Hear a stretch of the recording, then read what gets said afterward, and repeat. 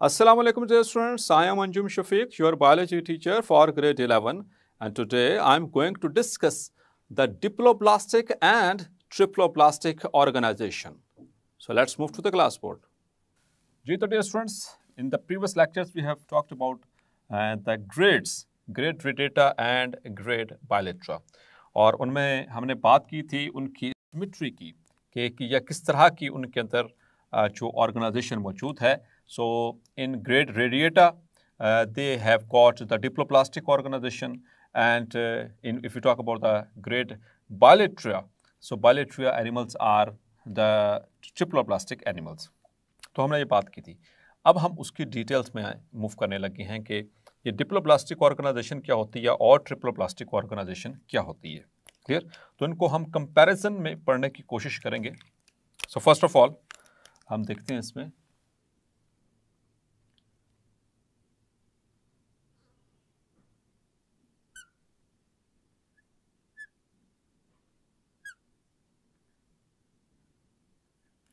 diploblastic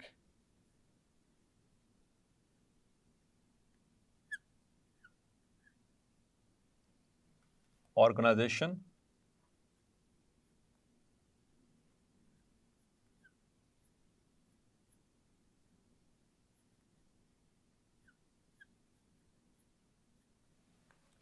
And the triploblastic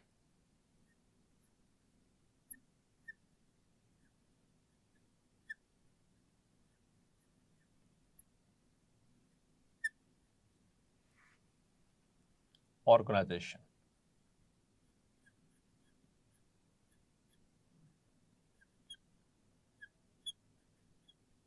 Clear? So, in a comparative manner, we are going to discuss all of the points. So, first of all, I am going to discuss about the division. The first point is division.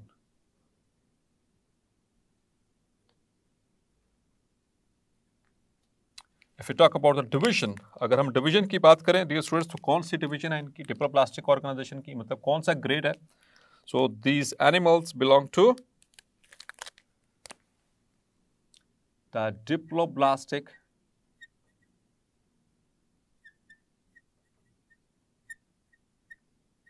animals belong to division or grade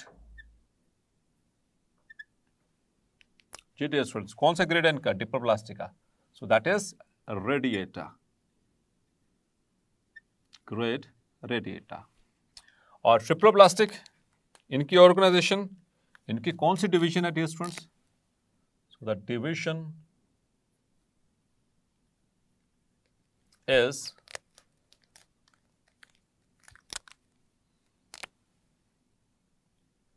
triploblastic animals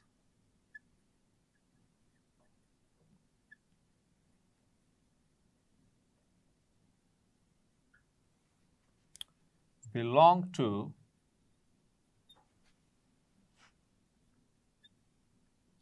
grade or division bilateria. Clear? So this is the key word over here. Bilateria and radiata. Clear? Now the second comparison is between the layers or we can say the germinal layers. germinal layers. Germinal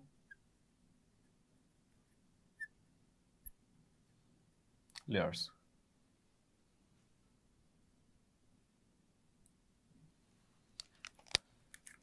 तो diploblastic दो germinal layers they have और their body is made up of two layers of cells that is ectoderm and endoderm.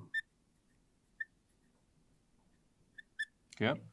While in case of triploblastic animals, their body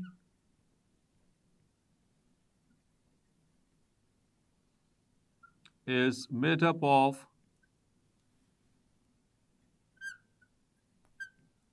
three layers. जी तो dear students कौन सी तीन layers हैं उनकी that is ectoderm ectoderm then there is mesoderm and endoderm derm matlab clear theek hai endo means inside meso means in the center and ecto means outside while they have only two layers ecto and endoderm इनके अंदर एक additional जो feature है अगर हम layers की बात करेंगे ठीक है so they possess the diploblastic animals have a jelly like or gel like mesenchyme.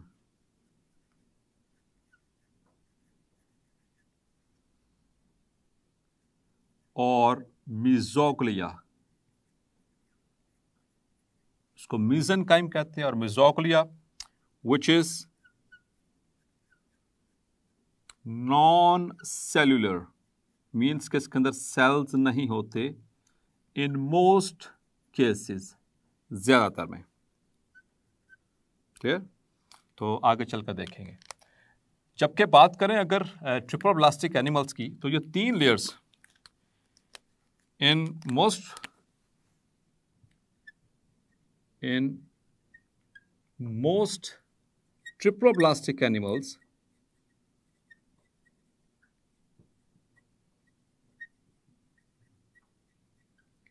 these germinal layers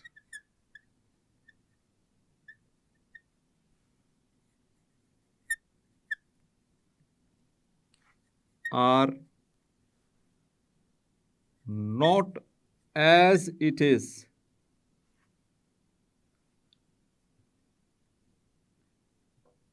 throughout the life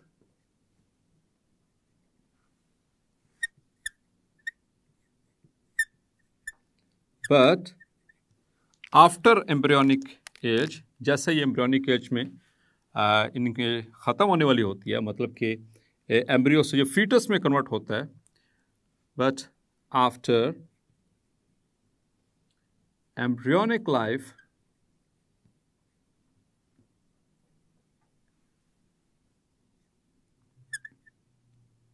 mostly these layers form organs. Clear? और बाद में चलकर आपको आफ्टर दैट इनकी जो आफ्टर लाइफ है आफ्टर बर्थ उसके बाद मतलब कि इनके अंदर ये जो लेयर्स हैं एक्टोटर्म एंडोटर्म और मिजोटर्म ये एज इट इज़ यानी कॉन्टिन्यू नहीं रहती हैं। मोस्टली एनिमल्स में क्या होती हैं, वो दूसरे ऑर्गन्स में कन्वर्ट हो जाती हैं, या उसके अंदर इनकी जो है वो ट्रांसफॉर्मेशन हो जाती है। वो इसी लेक्चर में हम देखते हैं, कोशिश करेंगे कि कौन कौन से लेयर्स से क्या क्या ऑर्गन इनके बनते हैं triploblastic organisation The next important point that has to be discussed between them, that is degree of specialization. Degree of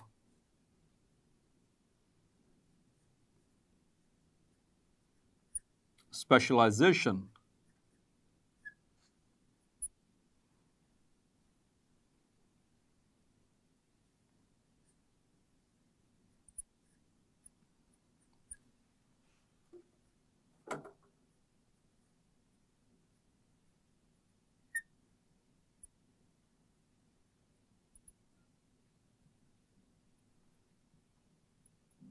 मतलब कि इनके अंदर क्या स्पेशलाइज्ड ऑर्गन्स मौजूद हैं? So if you talk about the degree of specialization between them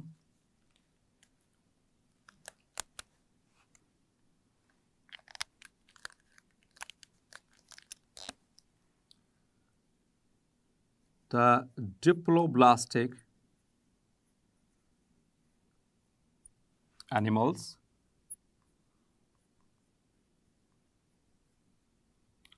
show lesser.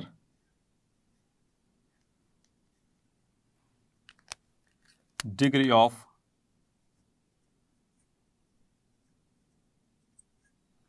specialization.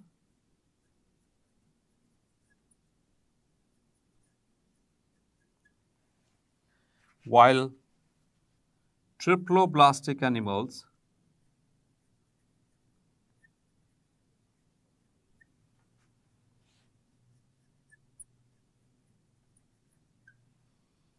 show higher degree or greater degree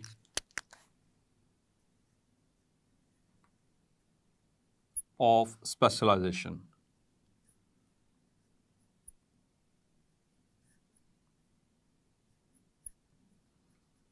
Means they do not have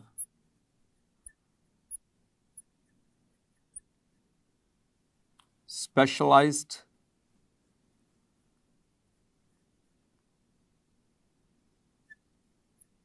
organs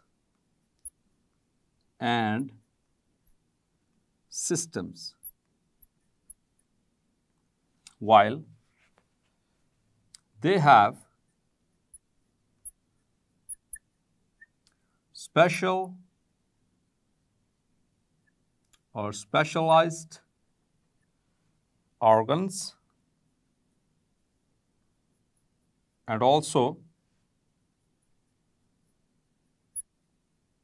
systems, specialized systems they have got.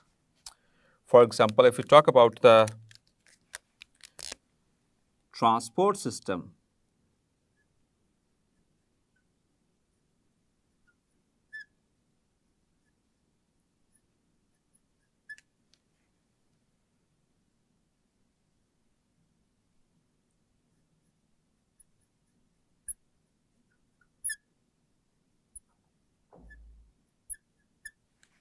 So, transport system is absent in diploblastic animals. इनके अंदर मौजूद नहीं होता तो फिर transport होती कैसे है the transport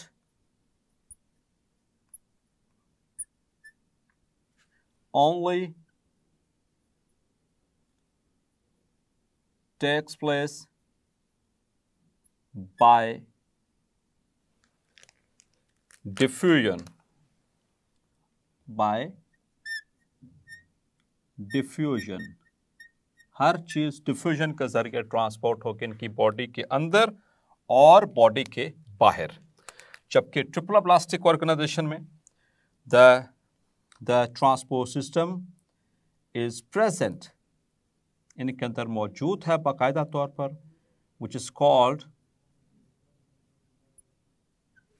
which is called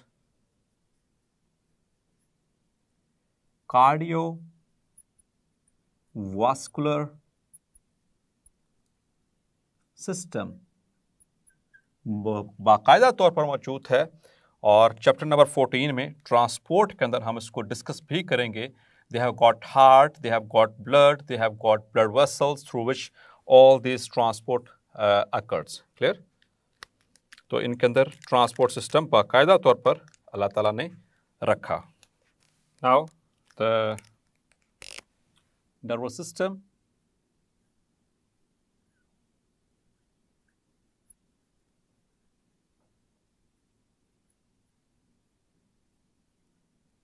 If we talk about the nervous system,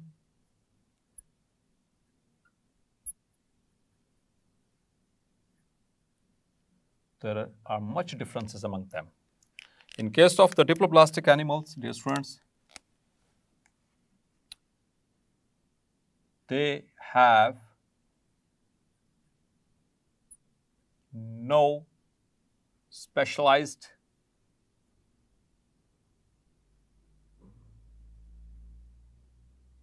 nervous system.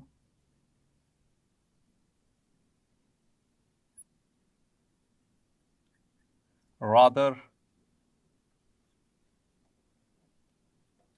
they have a neuron net.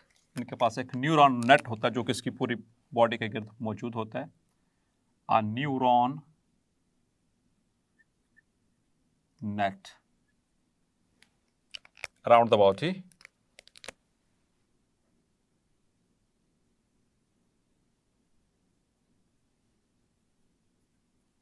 या फिर इसको हम एक और नाम दे सकते हैं, इसके नर्वस सिस्टम को they have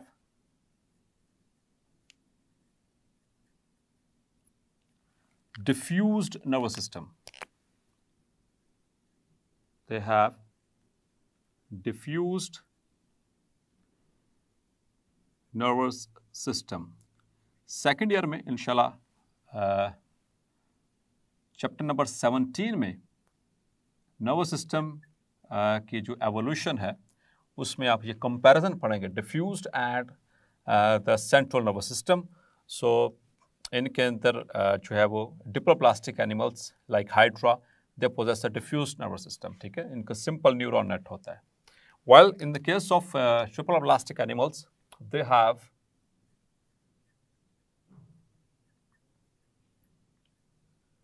a special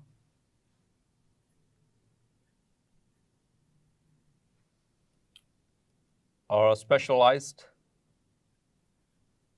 nervous system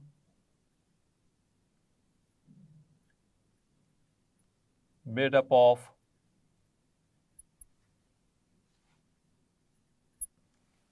neurons which are conductive cells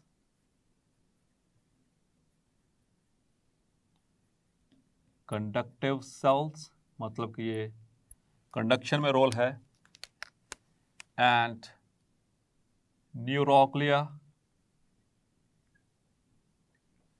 which are supportive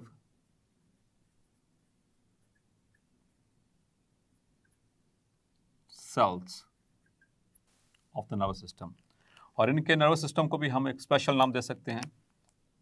They have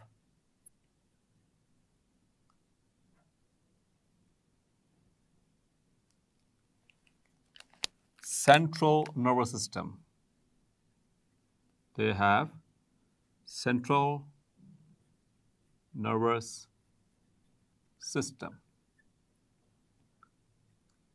जो कि ब्रेन और स्पाइनल कॉर्ड पे मुश्तमिल होता है। क्लियर उसमें इसके मजीद डिफरेंसेस आप आगे नर्वस सिस्टम इसके पढ़ेंगे। Now if you talk about their digestive system ये मेजर सिस्टम्स हैं। Digestive system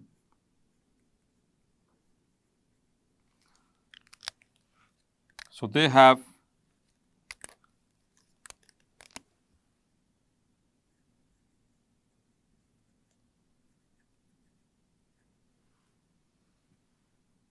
only one opening.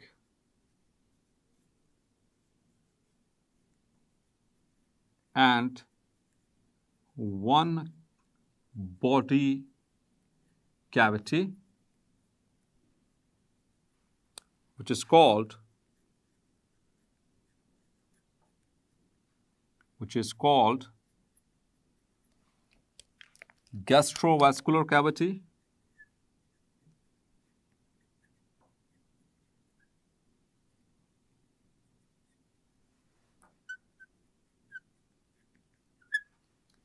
or anteron or coelenteron एक ही बॉडी कैविटी इनके अंदर मौजूद है और वही उसके ऊपर एक ओपनिंग है। That serves the opening serves as mouth for ingestion and also as anus for excretion मतलब कि इनके अंदर एनएस तो है नहीं लेकिन एज एनएस मैं यहाँ पर मेंशन कर रहा हूँ कि वो सेम ओपनिंग है जो कि माउथ के तौर पर भी काम कर रही है और एक्सक्रीशन के लिए भी इस्तेमाल हो रही है। सो so, उस टर्म में as anus not anus as anus and as mouth एक ही ओपनिंग सिंगल ओपनिंग है इनके पास और एक ही बॉडी कैविटी है। So they possess so they possess sac type of digestive system इनका जो डाइजेस्टिव सिस्टम है, वो सैक टाइप है। क्योंकि एक ही ओपनिंग है ना, और एक ही कैविटी है जिसमें like here if you talk about the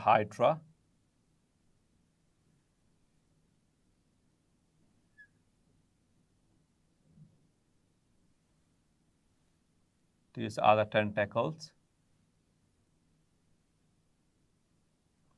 This is opening, which is called mouth. And this is the body cavity.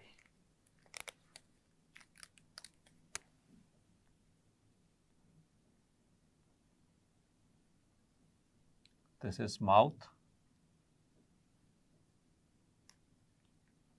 Ectoderm or ectodermis and endodermis. And this is gastrovascular cavity. तो sac ही बन गया थैली, जैसे थैली देखिए आपने, थैली का एक ही मुँह होता है, ठीक है? उसी के अंदर आप सारी चीज़ें रख सकते हैं। इस तरह एक सैक है लाइक सैक, एक ही ओपनिंग है। इस वजह से उसको गैस्ट्रोवेस्कुलर कैविटी या इसको एंटीरॉन या सिल एंटीरॉन कहते हैं so which animal is this this is Hydra a diploblastic animal. It is diplo, it is diploblastic animal. Yeah. Or uh, uh, if you talk about the uh, triploblastic animals, the digestive system.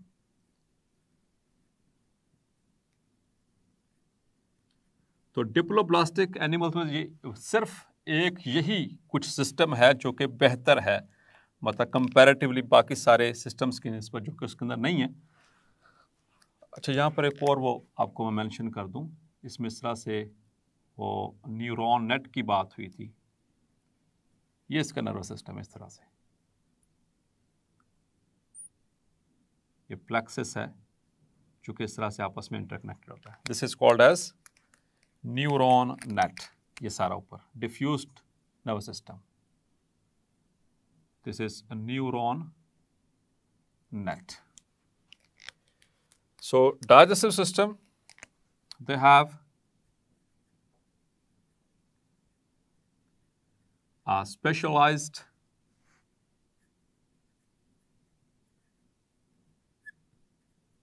digestive system,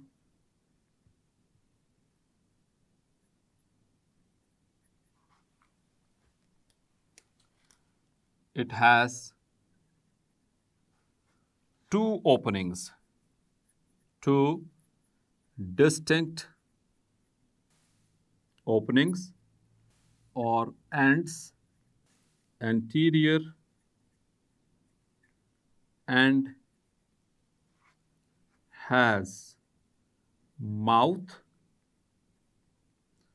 and posterior end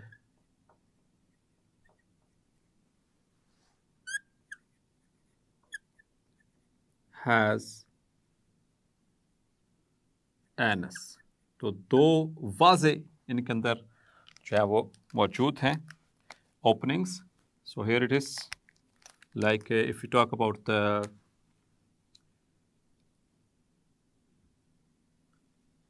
this is an annelid. एक nematode है sorry this is nematode round worm जिसको कहते हैं, ठीक है? और, ये इसका digestive system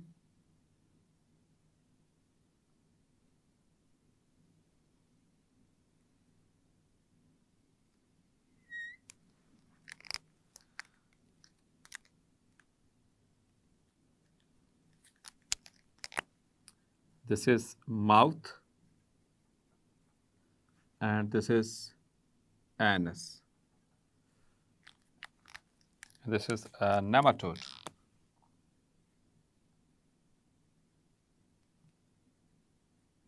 Here it is triploblastic.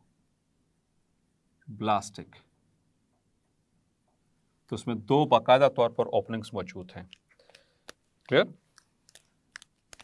इसका जो डाइजेस्टिव सिस्टम है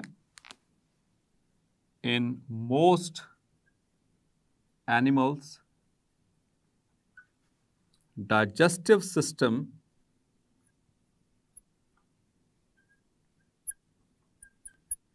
is divided into foregut midgut and hind gut clear ज़्यादातर एनिमल्स में इनके जो डाइजेस्टिव सिस्टम है, इनका गट गट कहते हैं डाइजेस्टिव सिस्टम को, ठीक है? वो फर्दर आगे तीन हिस्सों पे मुश्तमिल है fore gut mid gut hind gut ठीक है?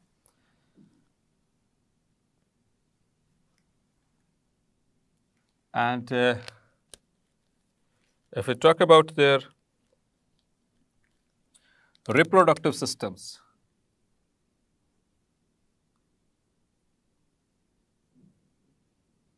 तो ये कुछ चंद सिस्टम ऐसे थे जो कि मोस्ट इंपॉर्टेंट पार्ट्स होते हैं बॉडी के मोस्ट ऑफ़ द एनिमल्स के बाकी uh, जो प्राइमरली हर और और सिस्टम की अपनी इम्पोर्टेंस है लेकिन इन सिस्टम्स के हवाले से देखें तो ये प्राइम इम्पोर्टेंस के हामिल हैं digestive system, nervous system, transport system, reproductive system. If we talk about their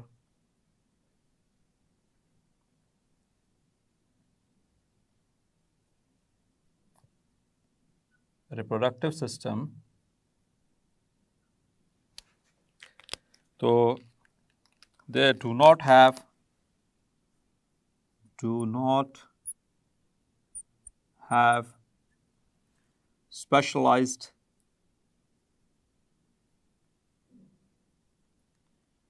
reproductive organs. Clear इनके अंदर स्पेशलाइज्ड रिप्रोडक्टिव ऑर्गन्स आमतौर पर नहीं होते तो फिर इनमें रिप्रोडक्शन जो होती है आमतौर पर रिप्रोडक्शन और is usually by budding. ठीक है? लाइक हाइड्रा उसमें बर्डिंग होती है, ठीक है? और यानी कि ए सेक्शुअल रिप्रोडक्शन है। यूजुअली यानी कि बर्डिंग के ज़रिए। And sexual reproduction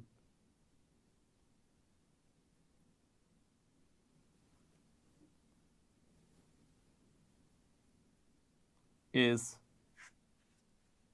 minor. When में माइनर और कोई क्लियर कट जो ऑर्गन्स है रिप्रोडक्टिव के रिप्रोडक्टिव सिस्टम के, वो भी इनके अंदर स्पेशलाइज्ड नहीं हैं। और ट्रिप्रोब्लास्टिक एनिमल्स में they possess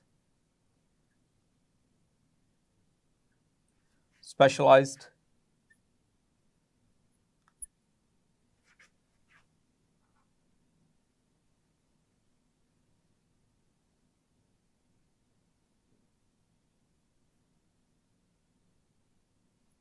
reproductive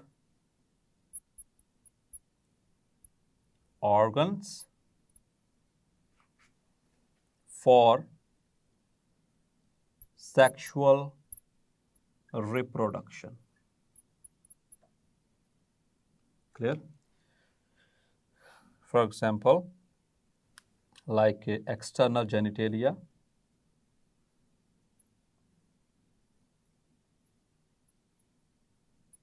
and glands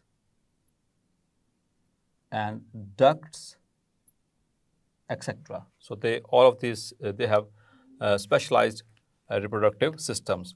तो जैसे जैसे हम uh, आगे की तरफ़ मूव करते हैं टुवर्ड्स द बेटर ऑर्गेनाइजेशन तो जो हायर एनिमल्स हैं वो ज़्यादातर सेक्सुअली रिप्रोड्यूस करते हैं because of they have higher degree of their specialization in which which are included in these uh, organizations. So diploblastic organi organization, they have only one phylum that is have only one phylum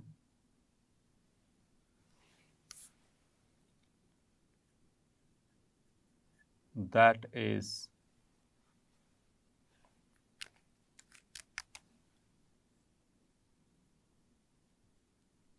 phylum Cnidaria or called as Coelenterata.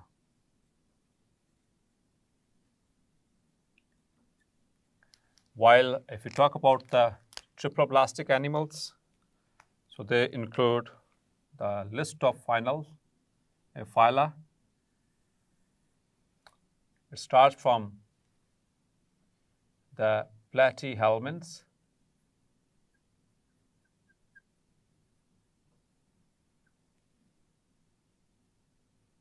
then aschelminths,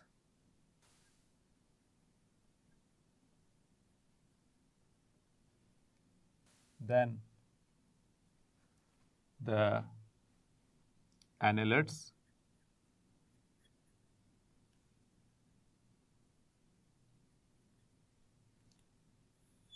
then there is arthropoda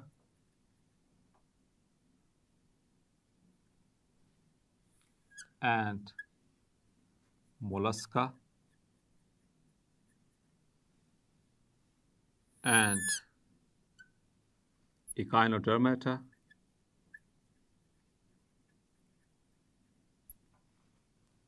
and hemichordata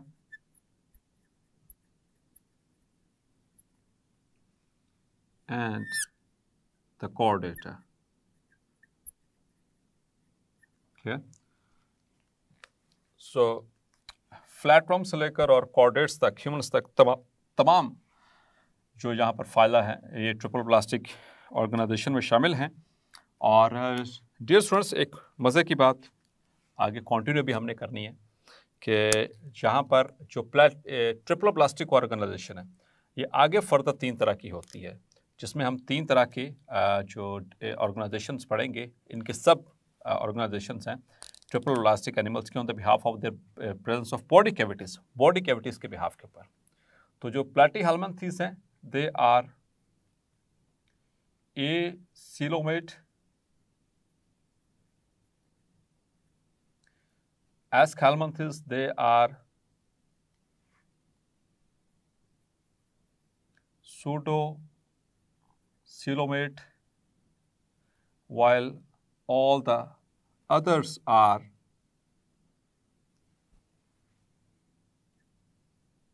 coelomates.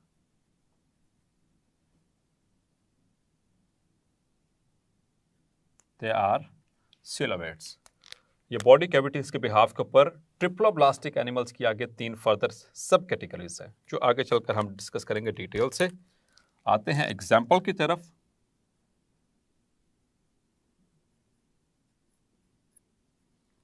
So so, examples में like hydra sea sea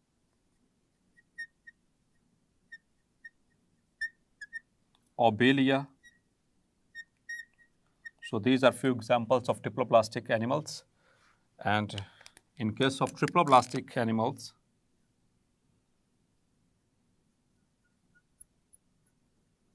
it includes planaria and ascaris and uh, earthworm.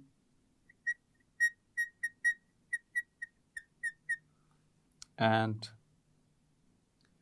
cockroach. And uh, starfish, then Blanoglossus, then the humans and fishes. So all these are the triploblastic animals. और एक last में हम बात करेंगे आ, कि जो diploblastic organisation है उसमें जो दो लेयर्स हैं ecto and ectoderm and mesoderm उनमें स्पेशलाइज्ड जो स्ट्रक्चर्स या ऑर्गन्स आमतौर पर नहीं बनते जबकि ट्रिप्लोप्लास्टिक एनिमल्स में इन ट्रिप्लोप्लास्टिक एनिमल्स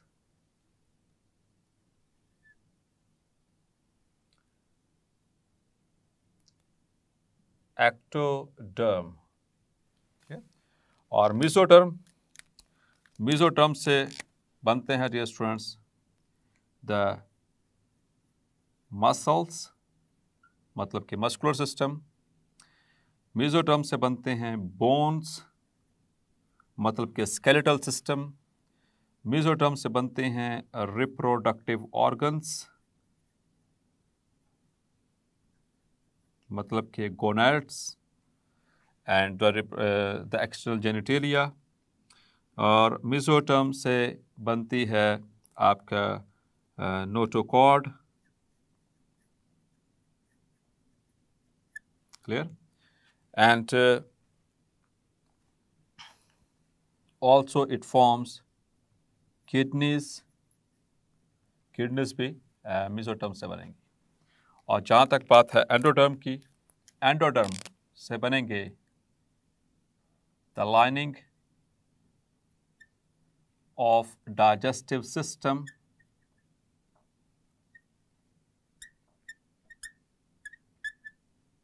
number 2 lungs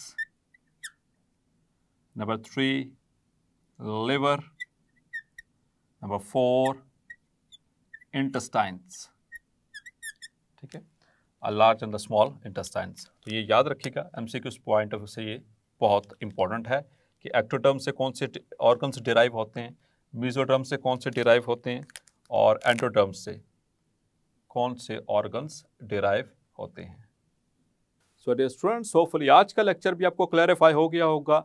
मिलते हैं नेक्स्ट लेक्चर में और डिस्कस करेंगे द ट्रिप्लोप्लास्टिक सब ऑर्गेनाइजेशन तब तक अपना ख्याल रखिएगा। अल्लाह हाफिज़।